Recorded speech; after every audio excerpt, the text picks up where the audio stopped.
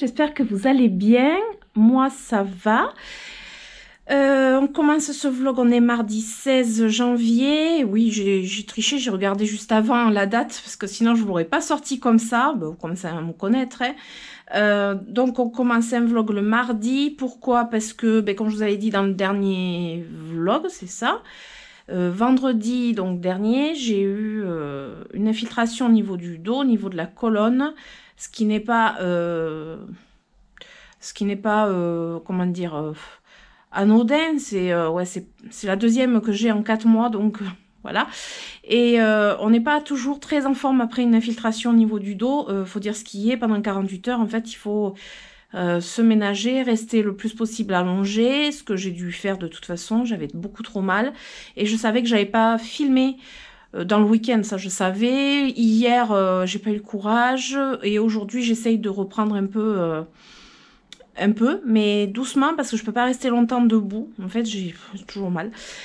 Euh, vous avez été nombreux à me, à me dire euh, ben, plein de gentillesse, notamment euh, bon courage pour mon infiltration, donc ça c'est cool. Et bon, ça s'est bien passé. Après, il faut entre une semaine et quatre semaines pour, pour voir s'il y a ben, si ça fait effet. Sachant que la dernière infiltration, il y a quatre mois de ça, n'a rien fait, mais bon, on verra je croise les doigts. C'est pour ça que vraiment, il faut que je fasse attention, je me ménage. Donc, euh, je pense, si j'ai le temps, je vous amènerai dans le jardin, soit ce soir, soit demain. Euh, voilà, au niveau du jardin, j'ai rien pu faire depuis euh, tout le mois de décembre, novembre, ouais. Donc, bon, c'est pas, pas terrible, terrible, mais bon, mon mari a quand même vachement bien avancé pendant les vacances de Noël. Il a quand même fait pas mal de choses, donc heureusement. Parce que sinon, ça serait la cata. Et après, vous avez été nombreux aussi à réagir sur, euh, ben, mes chiens, sur euh, mon chat, sur euh, le fait que, ben, que j'ai fait un bout de vidéo pour mes animaux. donc ça me fait très très plaisir. Vous êtes nombreux à m'avoir fait des retours aussi sur vos propres animaux. Donc ça c'est cool, ça me fait très plaisir. Là, je vais vous montrer dans la véranda parce que là, je vais m'apprêter aussi à filmer la vidéo que vous aurez donc euh, ben, mercredi. Alors pour moi, là, quand je veux filme, c'est pour demain. Pour vous, quand cette vidéo sortira, c'était le mercredi juste avant. C'est pas toujours facile de se retrouver quand on filme et quand vous vous regardez, c'est pas euh, c'est pas toujours simple. J'ai entretenu mes plantes malgré tout ça. J'ai tenu bon. Mon mari m'a aidé évidemment parce que j'avais quand même les arrosages, même si j'avais bien anticipé avant. Et euh, je suis trop contente, je vais vous montrer un truc, je, suis euh, tellement contente. Et je vais voir euh, si j'ai pas d'autres petites bricoles à vous montrer, sachant que là, ouais, je dois filmer pour le, la vidéo du mercredi. Et sinon, si j'ai un moment, je vous amène dehors. Et sinon, ce sera demain. Mais là, il faut que je vous montre un truc. Alors, ça se passe ici. Et c'est, euh, je sais pas si vous vous rappelez, il y a pas longtemps, j'ai reçu des Oya venant de Rhinoplante, Sarah, qui m'avait envoyé, donc, qui m'a offert des, des, petites Oya, fait des boutures notamment. Et j'ai le Oya globulosa. Vous avez vu le kiki? Vous avez vu? J'ai deux feuilles là déjà. La tout ça, ça y était pas. Là, il est en pont. J'avais sept grosses feuilles, je sais pas si vous vous rappelez, il faudrait que je retrouve des bouts de vidéos. C'est pas toujours évident parce que moi les vidéos, je les efface au fur et à mesure, sinon j'en aurais beaucoup trop. Là, euh, lui, il a pas bougé pour l'instant. Ça, c'est le Rotundifolia. Et par contre, euh, le... Ah, j'ai perdu le nom. Vous avez vu, j'ai pas mis l'étiquette encore. Hein. Le euh, Kodata Sumatra m'a fait cette petite liane. Donc ça, c'est les trois que j'avais reçus en même temps. Euh, j'en ai deux quand même qui... notamment celle-là qui... voilà, je veux dire, là, il y a une super tige, quoi. Donc voilà, c'est cool. Et puis je vois aussi que du côté de mon épiphyllum, ça pousse. Ça, c'était une petite fleur. Voilà, ça pousse de, de, tous les côtés. Puis j'ai toujours des, boutons floraux là-bas, des, pédoncules. Et mon, mon orchidée vanille, elle est euh, superbe. Elle pousse. Il va falloir quand même que... Euh, bon non, à chaque fois je dis il faudrait que je retuteur, mais non ça tient tout seul. Enfin, ça, on va dire que ça tient tout seul. Ça tient un peu par le Saint-Esprit, mais bon. Et là, j'ai toujours pas, enfin, il va falloir que je le fasse, hein. je voulais euh, mettre en, regardez, en pot, au moins en, en l'échouzapon cette bouture de Oya. Euh, euh, ah, mais comment ça s'appelle déjà celui-là? Ah, crotte. Ah, c'est un morceau que j'avais. Attendez, il y a la liane qui a poussé en plus de ce côté. Là, c'est euh, le Parasitica Black Margin. L'Oya Parasitica Black Margin. Lui, je vais le mettre. Euh, ça, fait deux ou trois fois que je vous le dis que je vais le mettre. Hein. Mais je vais le faire. je vais le faire. Tiens, là, je vois que j'ai des petites feuilles aussi qui poussent là. Là, c'est le Lacunosa Punsac. Voilà, les Dichidia euh, vont bien. Faut que je les arrose. Voilà, de ce côté, ça pousse bien. La... Comment elle s'appelle déjà, Ah, je vois une cochenille. Voilà. Allez, comment elle s'appelle déjà, elle euh, Là. Alors, attendez. Hop. Euh, la Flamingo Dream. Alors, alors moi j'ai toujours un gros doute sur le fait que ce soit pas une plante à part entière. Euh, pour moi, c'est une plante complètement différente de la. je fais en même temps. Je vous parle et puis je fais en même temps mon, petit, ma petite inspection des, des cochenilles puisque j'en ai vu une. pour moi, c'est pas du tout, du tout une Carnosa Crimson Queen, mais pas du tout elle, n'a a rien à voir la Crimson Queen. Euh, ça, euh, pour moi, il n'y a rien à faire. Pour moi, c'est une, une, plante à part entière. Le côté rose de ses, de ses feuilles, c'est pas du tout, du tout euh, ce que fait la Carnosa Crimson Queen. Mais alors, pas du tout. Il y en avait qu'une cochenille bah, a priori, oui. Pas du tout. C'est pour en avoir quand même des Carnosa Crimson Queen, je peux vous dire que c'est pas du tout la même chose. Euh, je vais vous amener. Parce que là, le côté rose, fuchsia de ces feuilles qui restent très longtemps et qui est extrêmement rose, euh, je suis désolée, mais non. Et c'est pas une question d'exposition. Hein. Vous voyez là Attendez. Je sais pas comment vous montrer ça. Vous voyez Même les feuilles, les nouvelles feuilles de la Crimson euh, Queen, donc qui est à ma gauche là, ne sont jamais roses, roses comme ça, jamais, jamais, jamais. Vraiment, j'ai jamais eu ça malgré une exposition soleil, tout ce que vous voulez. Même sur celle-ci euh, qui m'a fait du rose, ça c'est une Crimson Princess, le même style. Hein. Euh, elle m'en a fait du rose, hein, mais jamais du comme ça. C'est vraiment pas la même. C'est pour moi c'est pas la même, c'en est une à part entière. Alors peut-être que le, terme flamingo dream c'est peut-être commercial, mais vous voyez ces feuilles après elles sont euh, vachement plus rondes je trouve.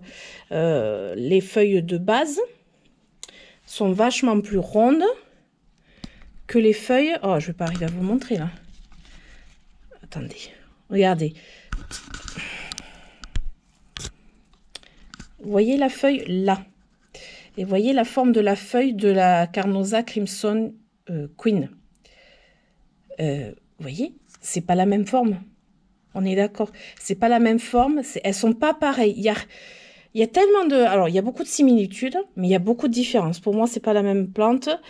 Donc, euh, donc, je suis très très contente de l'avoir, de l'avoir, et je regrette même de pas en avoir pris deux pour me faire une potée peut-être un peu plus grosse. Alors, elle est en, en pont, celle-ci aussi. Voilà une feuille jaune sur ma euh, Australis Lisa. Oh, ben je vais en avoir même deux là. Toc et toc. Voilà, ça c'est fait. Bon, ça va. Dans l'ensemble, franchement, ça va. Vous avez été nombreux aussi à me dire que c'était super bien d'avoir dégagé mes, euh, mes fenêtres, enfin certains endroits de mes fenêtres, que au niveau vue, c'était sympa. Vous avez été vraiment nombreux, donc ça, ça me fait vraiment plaisir. Les retours sur les vidéos, c'est trop cool. Euh, ouais, ça, ça fait vraiment très, très, très, très plaisir. Donc voilà, allez, je vais euh, m'installer pour filmer ma vidéo. Vous voyez, j'ai tout préparé. J'ai mon petit cahier euh, avec mes questions. J'ai tout préparé et je vais m'y mettre.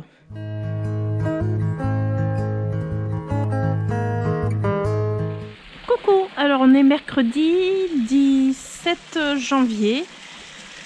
Cette fois, j'ai pas vraiment regardé. J'ai regardé tout à l'heure, mais je m'en rappelle plus. Je crois qu'on est le 17. Je vous l'écrirai en dessous, comme d'habitude. On est dans le jardin et il y a euh, du soleil. Ça fait du bien. Donc, il me semble que je vous avais dit qu'hier, j'essaierai de vous amener euh, dans, le jardin. Euh, hier, j'ai clairement pas pu. C'était compliqué.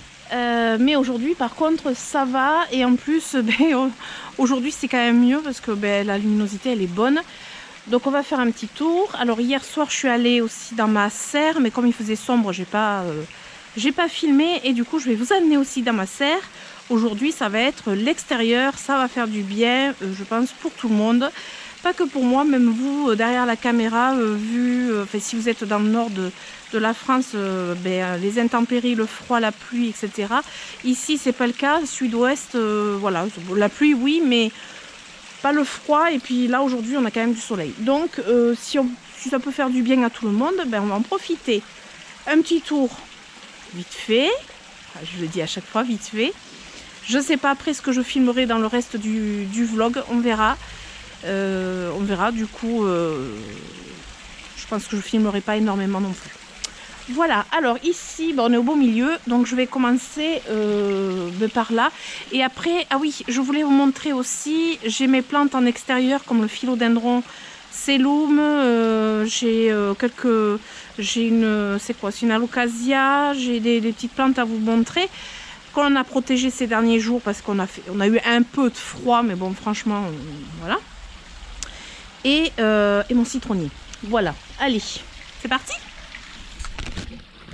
Bon, ben, déjà on va aller au bassin. C'est vraiment mon, coin préféré. Alors le bassin pour l'instant ben, il est vide. Vous allez me dire oui il ben, n'y a rien à, voir quoi. Euh, ben non là c'est l'hiver, il n'y a rien.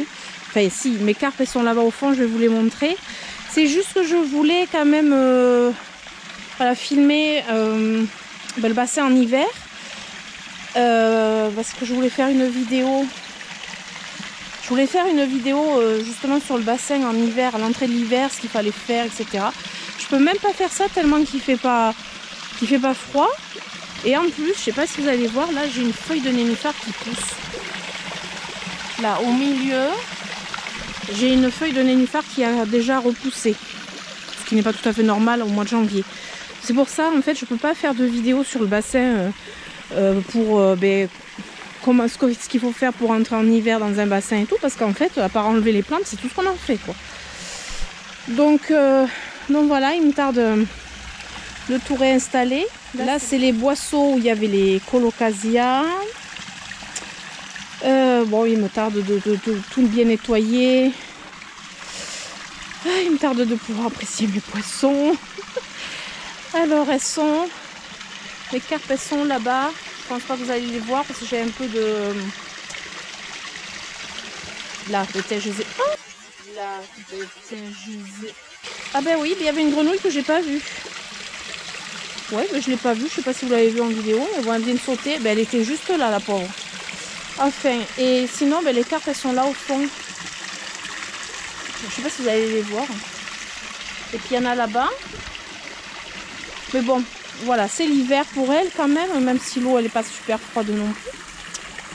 Et puis euh, de ce côté, le massif il a été aussi bien nettoyé. Je vous dis quand Georges commence à nettoyer, euh, j'espère qu'il m'a pas enlevé certaines choses que j'aurais voulu garder. Parce que là il en est capable. Mais bon, en principe il fait attention. J'y viens en principe. Là, ah ben j'ai les tulipes qui commencent à pousser. regardez comme s'il fait, il fait trop doux quoi en fait les tulipes qui commencent à pousser et en plus j'en avais encore à planter que j'ai pas planté. Bon là je peux rien planter dans les vases que j'avais fait au printemps dernier parce que j'ai de l'eau qui stagne dedans. Va falloir que je voie euh, ben, qu'on les perce un peu plus. Voilà parce que j'en ai quatre comme ça quand même. Ici ben, j'ai le sapin de Noël qui attend toujours d'être planté. Parce que lui il est en pot et il va falloir le planter. Euh, j'aurais voulu trouver quelqu'un à qui donner, mais là j'ai trouvé personne et là il commence un peu à faire la tête. J'espère que ça va aller. Il faut avoir le temps de le planter aussi. Donc la serre, on va y aller après. Voilà, c'est mon ginkgo biloba qui a plus de feuilles. J'aime bien l'hiver quand c'est comme ça. Il n'y a pas de feuilles, mais c'est joli. J'ai plein de petites plantounettes que au printemps, j'espère que tout va repartir. On va voir hein, ce que j'ai planté l'année dernière. Là, j'ai la Saxifraga stolonifera, la variegata, qui est toujours bien, qui est toujours bien là. Je pense qu'il va y avoir pas mal de choses qui vont pousser. Mon petit coin à Oya, j'ai pas enlevé la table ni la chaise. Je nettoierai tout euh, au printemps, c'est pas grave. Pas normal, j'enlève tout ça, mais bon. Après, ici, ben, Georges, il a fait aussi du grand nettoyage. Euh, il m'a enlevé les, les canards. Euh, ici, c'était les acanthes. Ben, quand je dis enlever, c'est coupé à ras. C'est pas arraché, il les a juste enlevés. J'ai les bords qui poussent. Oh, j'ai pas mal de choses qui poussent, mais bon, c'est vrai que je peux pas trop me pencher à cause de mon dos. Donc, je peux pas trop vous montrer. Ici, le bassin, euh, ben, ça va. Les poissons sont au repos. Vous voyez, ils bougent pas au fond. Là, c'est quand ils sont au repos. Il fait tellement pas froid que j'ai des feuilles de nénuphar qui, poussent là aussi. Donc, euh, bon, voilà. Il fait pas froid ici. J'ai une jolie potée de sédum palmérie là, avec les petites couleurs euh, rosées. J'adore cette potée. Une vieille potée que j'adore. On va aller par là. On va aller par là. Là, c'est une grosse, grosse euh, jardinière de sédum palmerie aussi. Alors là, je crois qu'il y a quasiment plus de terre dans la, jardinière. Elle est tellement vieille, cette jardinière. Je ne la bouge même pas parce que je pense qu'elle peut être nette sur, sur place. Là, j'ai le cornus alba et voyez le, le, les branches qui sont rouges. C'est trop beau. Et c'est ça que j'aime quand il a, il a pas de feuilles. Il est quand même beau cet arbuste. Juste, vous voyez, les, branches rouges, ben, ça ressort. Alors on dirait que ça a été peint, mais c'est pas du tout peint. C'est vraiment comme ça. Donc le cornus alba, je l'avais planté au printemps dernier. Et euh, bon, il a bien poussé déjà. De ce côté, J'ai plein de petits sédums qui poussent bien. Là, je crois que c'est le Graptopetalum paraguayense, il me semble. Planté directement en pleine terre, qui pousse bien, il me semble. J'essaye, j'espère que je dis pas de bêtises. Bon, là, il y a un peu de nettoyage, euh, un petit peu d'algues qui s'installent, mais bon, ça, c'est pas bien grave. Le couvre-sol, ça va. Enfin, au printemps, on va voir euh, tout ce qui va ce qui va pousser. Là, on a dû euh, refaire un petit coin ici, refaire, ben, creuser, changer un tuyau qui n'allait pas.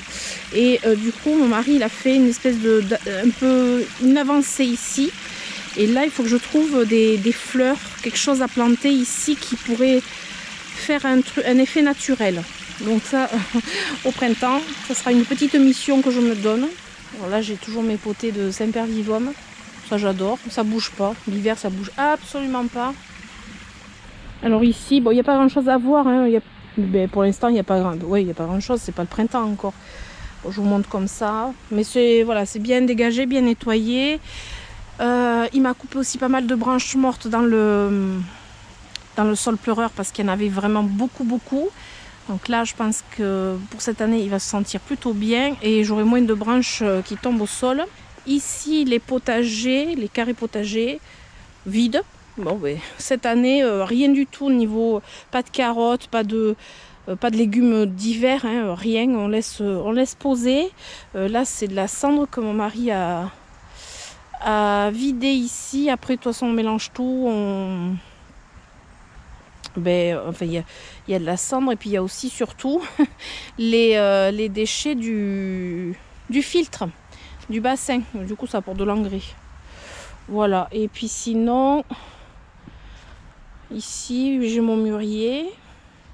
Oh, et j'ai mon persil qui repousse. Ah, et puis, tiens, Georges a oublié quelque chose ici. Oui, voilà. Ça, c'est Georges qui vient dans le jardin. Euh, sinon, voilà, il a vachement déblayé euh, tout le long les arbustes, euh, taillé tout ce qu'il avait à tailler. Et ça fait du vide et ça fait du bien.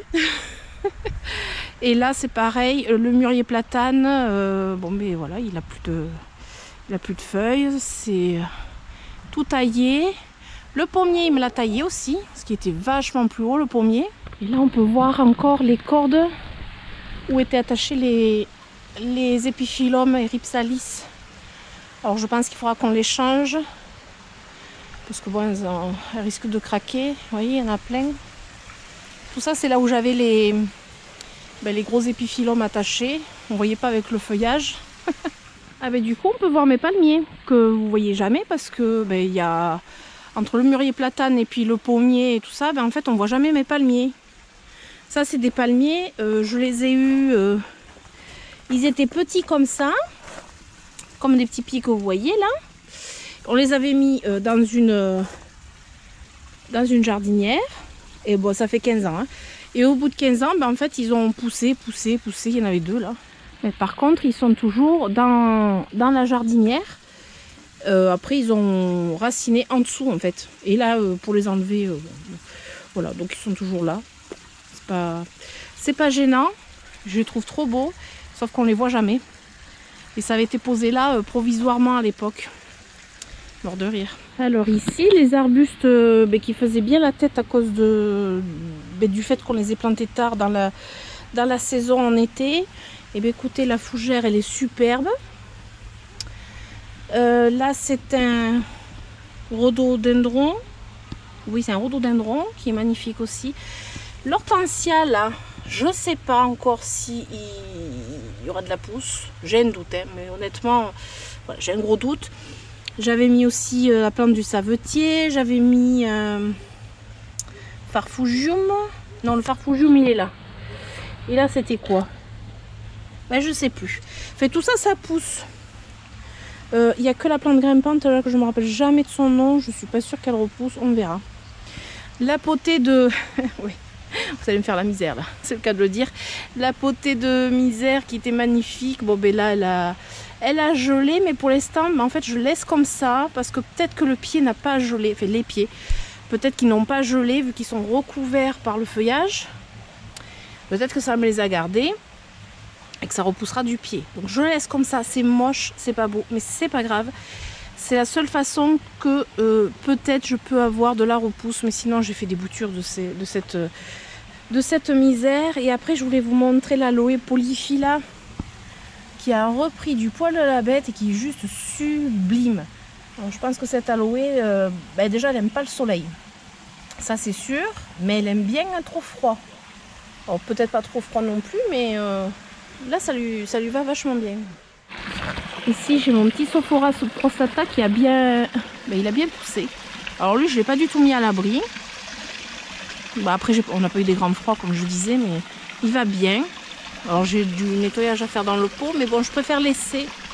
Voilà, ça protège un peu du froid quand il y a des, mauvaises herbes. Eh bon, petit, ça va? Oh, mon bébé. Oh, tu suis maman, tu es toujours l'ombre de maman, même dehors. Avec sa petite langue. Bah oui. on revient par là. Oh, il faudrait que je me ramasse une feuille du, euh, de l'hydrangea quercifolia. Il faudrait que j'essaye de la faire sécher euh, dans un livre. Vous voyez, essayer de la faire sécher. Alors, je sais pas s'il vaut mieux que je prenne une feuille directement. Oh, je sais pas. Ça m'embête d'enlever une feuille. Ouais. Ah, je vais la prendre. Je vais voir. De toute façon, qui ne tente rien à rien. Hein. Je vais essayer de la faire sécher. Elle est trop belle. Voilà, je vais pas vous faire le tour du jardin de manière approfondie. De toute façon, c'était pas mon intention. Parce que j'arrive pas à retrouver les noms des plantes. De toute façon, là, je suis pas du tout euh, concentrée pour retrouver les noms des plantes. Mais euh, sinon, il y a tout qui pousse bien. Voilà, à part ceux qui ont les, étiquettes, comme là le Carex, bon ben là c'est bon. Mais c'est là que je vois qu'il me manque beaucoup d'étiquettes. Voilà, c'est tout nettoyé ici. Alors là, ben, la terrasse euh, en bois, bon ben, c'est vide, sauf là derrière les rideaux, j'ai des succulentes. Il faudra que je vous les montre. Vous montrerai peut-être vite fait, je verrai.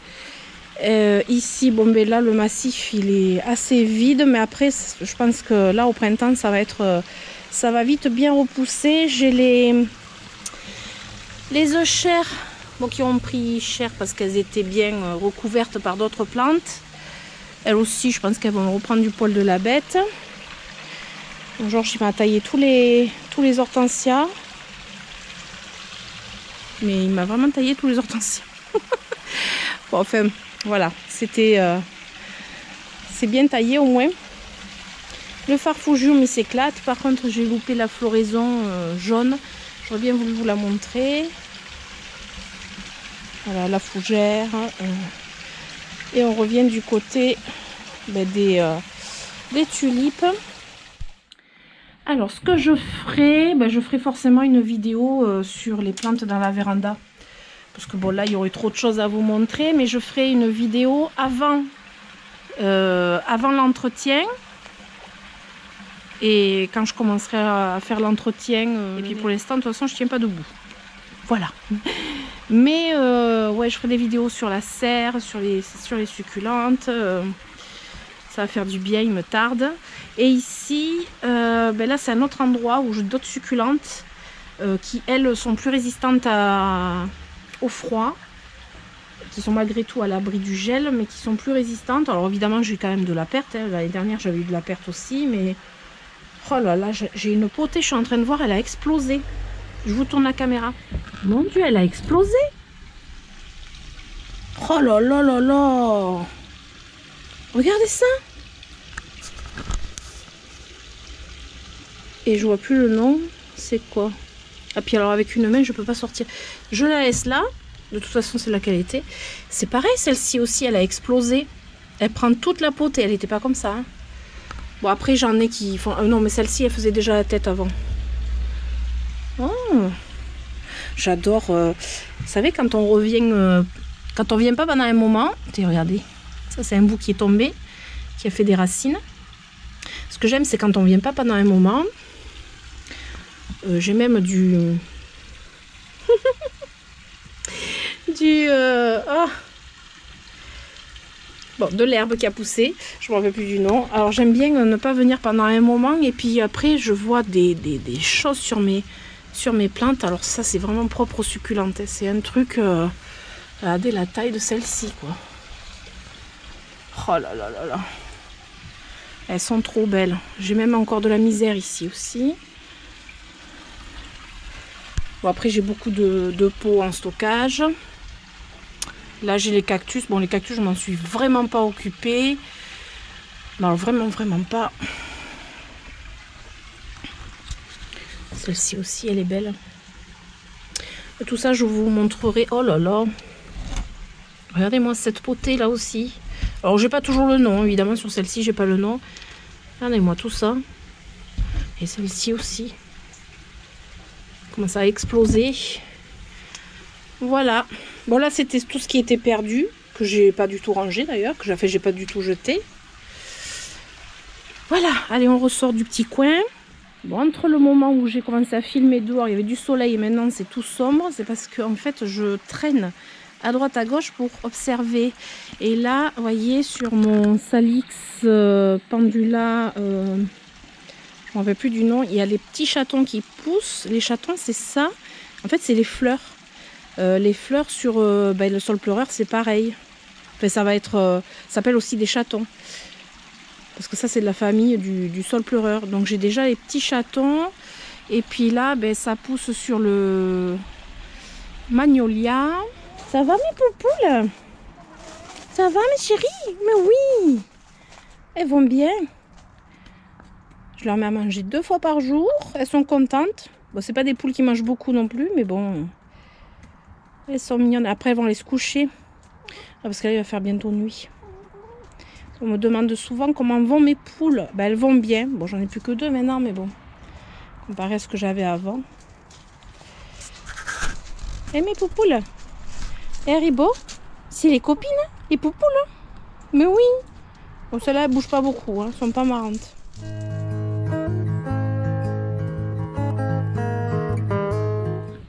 Alors aujourd'hui on est vendredi 19 euh, janvier, dernier jour du vlog. Euh, hier j'ai pas vlogué. Ah oui, hier j'ai pas vlogué parce que j'ai filmé pour mon, pour mon autre chaîne, ma bulle de douceur. C'était un podcast. Et quand je filme un podcast, c'est hyper long. En plus, j'ai fait le montage entre hier soir et aujourd'hui. Et elle sort ce soir Donc on est vendredi, elle sort à 18h. Voilà. Du coup, j'ai pas filmé hier pour ce vlog là.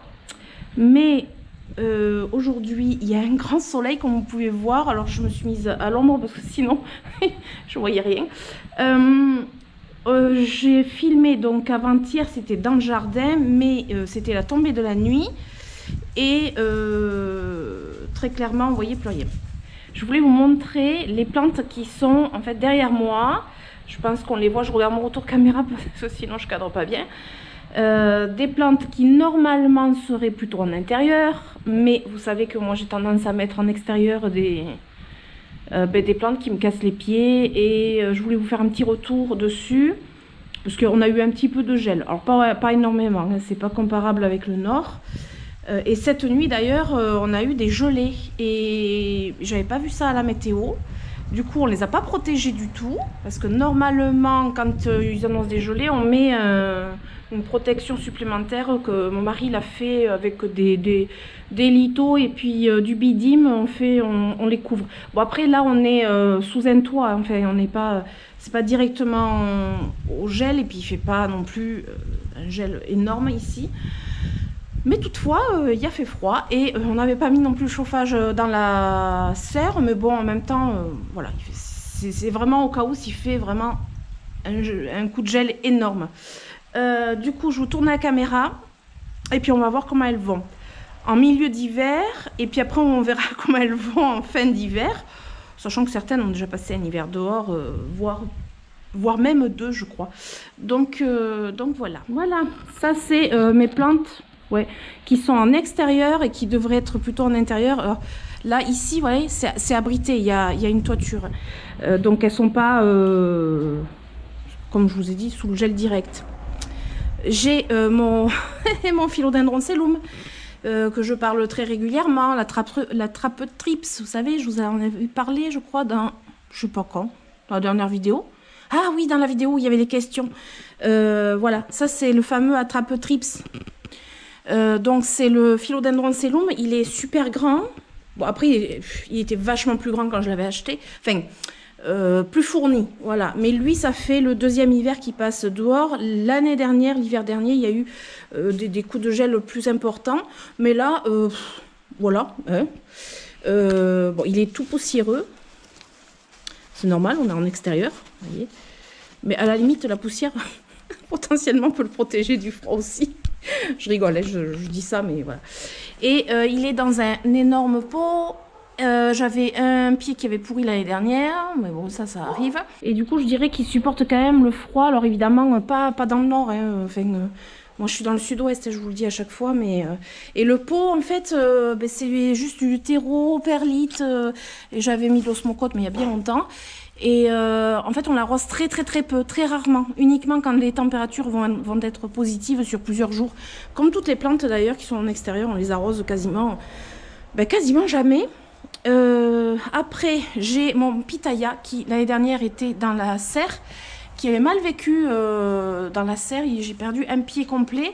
Et là, par contre, alors c'est dommage hein, parce que là, j'ai le, bout de ferraille qui s'est planté dans la dans, la, dans cette feuille du, pitaya et du coup ça l'a endommagé euh, et puis on l'a pas sorti aussitôt puis voilà mais c'est pas bien grave du coup le, le pied en lui-même il va bien mais il n'est pas arrosé non plus pas du tout. Euh, bon, là, j'ai un, Comment on appelle ça? Un bégonia euh, lucerna. Euh, je sais pas, je verrai s'il repart au printemps. Je sais pas. Alors, d'habitude, il meurt pas, lui. Je sais pas. Est-ce qu'il a eu... Non, je sais pas. Ah non, ça, c'était pas... C'était celui que... Non, non, c'était celui que m'avait offert... Béatrice. Elle m'avait offert ce, bégonia et elle m'a dit de toute façon il est rustique, il repousse comme du chien dent. On verra au printemps. Voilà, comme ça au moins euh, on, teste. Euh, ici j'ai, ah punaise, un de mes Oya hum, euh, compacta. Alors lui il a de, il a tellement eu de cochenilles que je crois qu'il a même du, du fumigine, de la fumigine. Comment on appelle ça déjà? Vous savez ça noircit, ça c'est à cause de de trop de cochenilles, euh, trop de miella. Mais bon, c'est pas grave, il est là, je teste. En plus, euh, je veux pas dire, mais il est en pont. Il n'est pas mort, il n'est pas arrosé, il est là. On verra bien, hein On verra bien. Voilà, j'ai mon citronnier. Je l'adore, ce citronnier. C'était Mélodie qui me l'avait offert avant de déménager. Euh, et du coup, j'ai plein de citrons. J'ai plein de citrons comme ça. Alors ça, ça craint le gel aussi, le gel direct. Hein.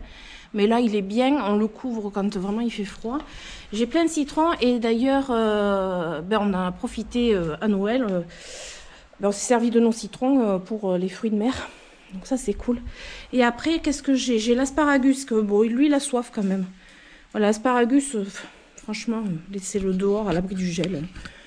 Il faut vraiment pas s'embêter. Par contre, je voulais vous montrer un truc parce que souvent, les gens ne le savent pas. Alors déjà, l'asparagus, c'est pas une fougère. J'y tiens. Je suis tenace. À chaque fois, je le dis, l'asparagus n'est pas une fougère. C'est une plante de la famille des asperges.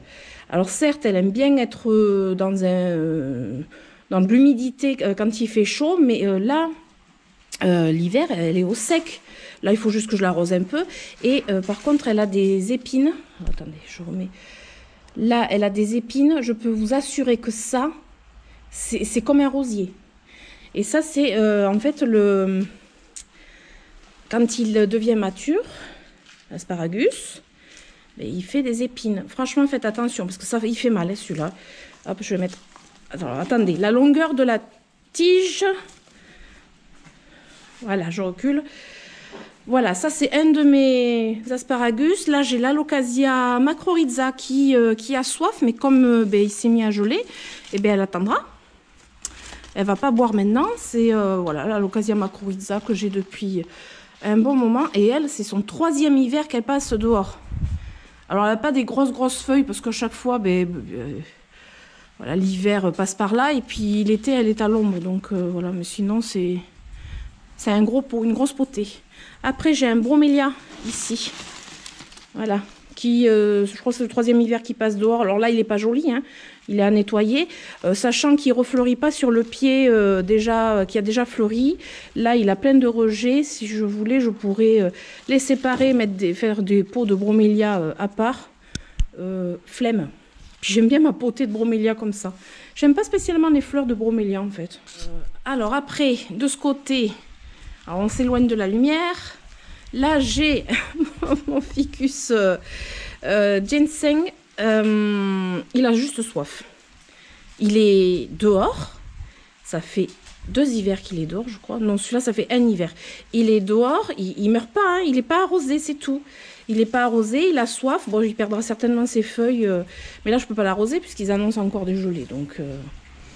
Donc voilà, il est bien. Là, j'ai ma potée de misère que je vous ai montré plusieurs fois cet été. C'était, euh, je l'avais eu en cadeau par, comment elle s'appelle déjà Mais je ne me rappelle plus du prénom. C'est tout petit, petit comme ça. C'était trois petits, euh, trois petits pieds euh, différents. Je les avais mis ensemble et ma potée, eh ben voilà, elle est là. Et eh bien ma foi, ça va. Pas arrosé non plus. J'ai cette fougère, c'est un Phlébodium. Un phlébodium, je crois. Bon, il s'est un peu dégarni, mais euh, ben, ça va aussi, mais pas arrosé. Bon, là, celui-ci, ça euh, ben, je pense que cette fois, celui-ci, euh, il va finir par dépérir. Bon, après, je n'ai pas tout fait pour le sauver, mais c'est un yucca qui avait un pied qui poussait. Ah, je vais pas y arriver à vous montrer, non Toutes les feuilles viennent devant. J'avais un pied qui avait poussé, là, qui est toujours là, mais comment vous dire que quand il y a eu du vent, j'ai une plante qui s'était euh, couchée dessus. Mais bon, on va dire que ça va.